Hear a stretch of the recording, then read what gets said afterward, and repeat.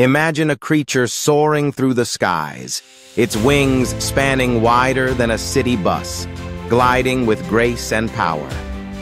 While legends often depict such beings, nature holds the real secrets behind these awe-inspiring flights. Take the Draco lizard, for example. This tiny reptile unfurls wing-like flaps of skin, allowing it to glide between trees in Southeast Asian forests. Its ribs extend outward, supporting these membranes much like the legendary wings described in ancient tales. Birds and bats, too, showcase diverse adaptations.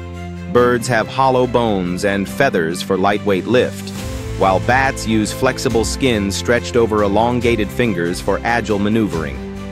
Even prehistoric pterosaurs had wingspans rivaling small airplanes, with unique bone structures that balanced strength and lightness.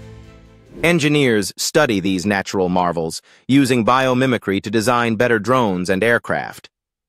By observing how real creatures master the air, we unlock the mysteries once thought to belong only to legend, revealing the remarkable ingenuity of evolution and inspiring innovations that push the boundaries of human flight.